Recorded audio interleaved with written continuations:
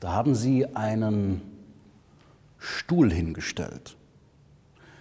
Und zu dir hat man gesagt, du sollst Platz nehmen. Und dann hast du Platz genommen. Erwartungsvoll, was passiert.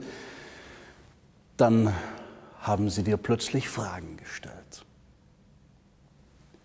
Warum hast du das getan? Was hast du dir dabei gedacht? Hättest du es nicht anders tun können? Du hältst die Luft an, suchst Antworten zu finden. Warum habe ich das getan? Ähm, versuchst dich dafür zu entschuldigen.